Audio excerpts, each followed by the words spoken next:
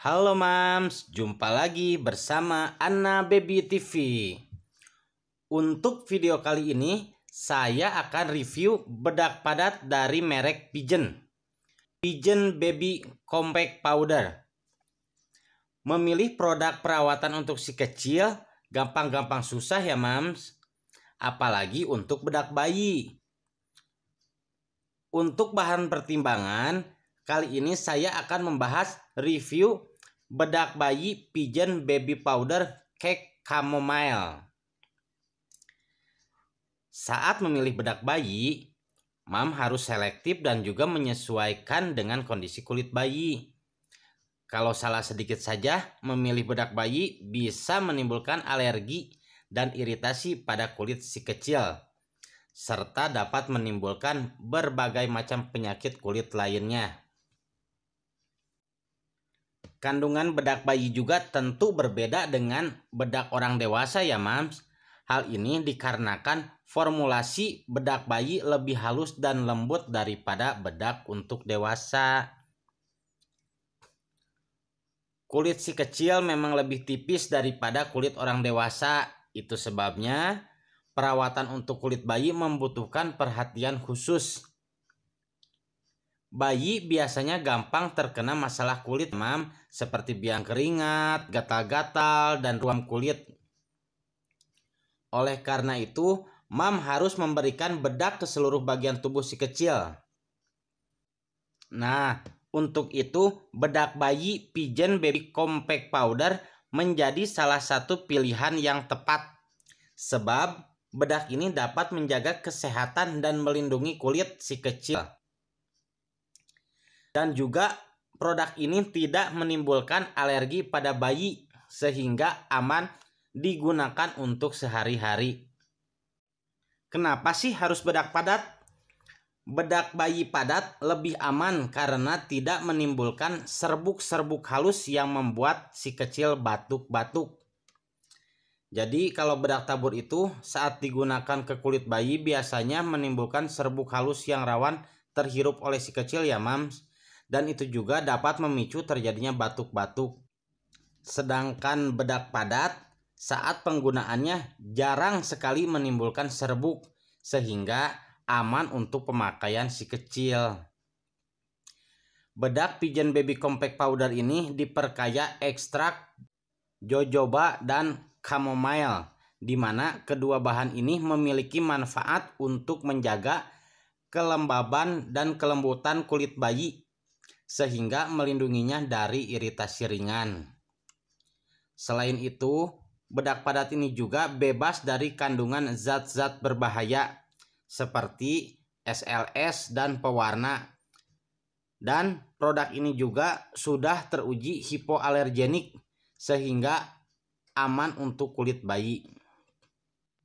Nah, ini untuk tampilan depannya. Pigeon Baby Powder Compact refill plus fab dan pigeon baby powder compact. Yang ini yang dengan tempatnya. Kalau yang refill plus fab ini isi ulang tanpa tempat. Untuk kemasan sampingnya pigeon baby compact. Ini yang ini ada barcode ini juga sama tulisan pigeon baby powder compact. Dan ini untuk tampilan belakangnya pigeon baby powder compact yang sama yang refill sama ya mams ya. Jadi kita pilih salah satunya. Baby powder compact diformulasikan secara khusus dalam bentuk padat sehingga mengurangi kepulan bedak pada saat digunakan dan mencegah bayi menghirup partikel bedak diperkaya dengan ekstrak jojoba dan squalan untuk membantu menjaga kelembaban kulit, menjadikan kulit bayi halus senantiasa dan ekstrak chamomile untuk membantu melindungi kulit bayi dari iritasi ringan. Di sini juga ada perhatiannya, apabila ada reaksi yang terjadi di dalam pemakaian, hentikan penggunaan segera. Jauhkan dari jangkauan bayi dan anak penggunaan hanya untuk badan bagian luar. hindari penggunaan pada organ genital. Nah, ini juga ada ingredients atau komposisinya. Silakan Mam lihat-lihat aja. Di situ ada talc, ada Z, May, starch, zinc oxide dan lain-lain. Sekarang kita akan lihat kemasannya ya Mams ya. Nah, ini untuk kemasan yang refill dan ini untuk kemasan yang compact powder yang ada itunya yang ada tempatnya. Jadi untuk kemasan yang refill itu cuma ada bedak padatnya sama sponsnya ya mam. Sedangkan untuk bedak padat yang ada tempatnya ini ini ada bedak spon dan juga tempat bedaknya ini untuk ukuran yang 45 gram jadi ini simple banget mams kalau buat dibawa ke mana-mana saat bepergian. Nah coba kita buka ini tekstur bedaknya. Nah ini dalamannya bedak pigeon compact powder. Nah ini untuk sponsnya ini lembut banget ya mams ya. Dan ini juga warnanya putih teksturnya padat.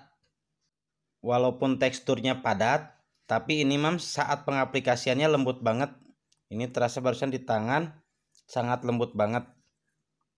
Setelah kita review kegunaan sama tekstur bedak padat ini, sekarang kita lebihan dan kekurangan bedak bayi pigeon baby powder cake chamomile ini. Kelebihannya satu mudah gunakan. Dua, mudah ditemukan. Mudah ditemukan di minimarket, baby shop, sama online-online shop.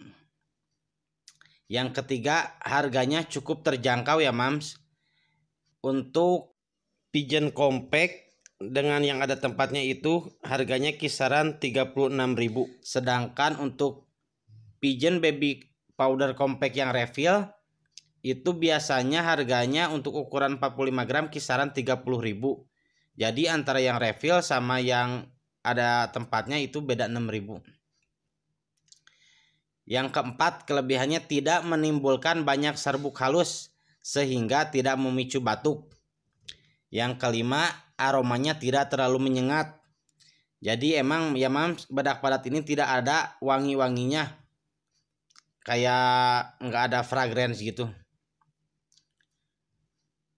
yang keenam, tidak menimbulkan alergi pada kulit anak. Yang ketujuh, kulit bayi terasa halus dan lembut. Delapan, memiliki label halal dari MUI. Dan yang kesembilan, kemasannya praktis yang mudah dibawa bepergian. Untuk kekurangan bedak bayi ini, untuk saat ini saya pribadi belum menemukan kekurangannya.